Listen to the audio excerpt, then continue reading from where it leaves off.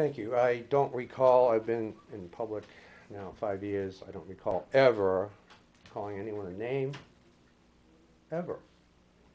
I've never criticized one person, in or outside this community.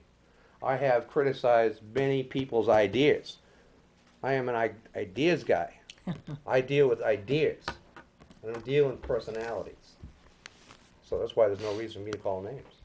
I've called ideas all kinds of names because we've had all kinds of, you know, names worthy of being, uh, ideas worthy of being called names.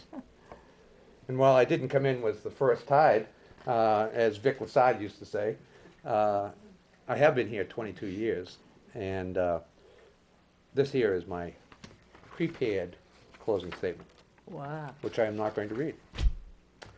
Because I have been rather disturbed tonight by uh, this issue on the lawsuit. So I'm going to speak on that, which I wrote down here. You know, we have a four to one vote, as Jim rightfully pointed out, in terms of taking the lawsuit. Now, we're in this course of action. And uh, what remains on the Board of Selectmen now are uh, basically three votes in favor.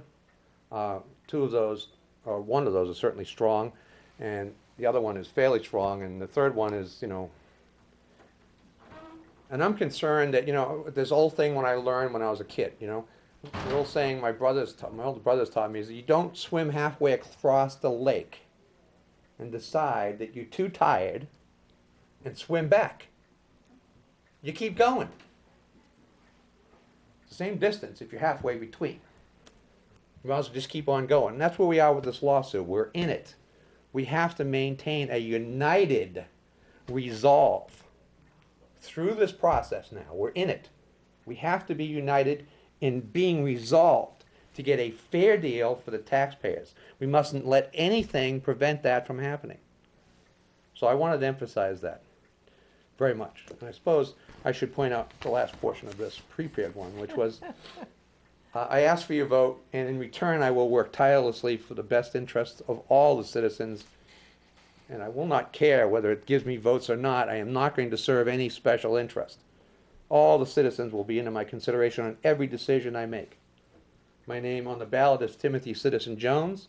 You will find my name on the bottom of the list, where the powers that be, too often, try to keep all ordinary citizens at the very bottom.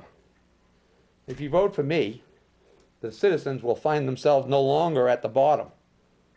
More often, you will be at the top where you belong. Thank you.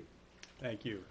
Uh, Mary Louise Woolsey, Timothy Citizen Jones, Brian Provenzel, James Waddell, and uh, Brian McNamara are your candidates for, uh, Brendan, excuse me, um,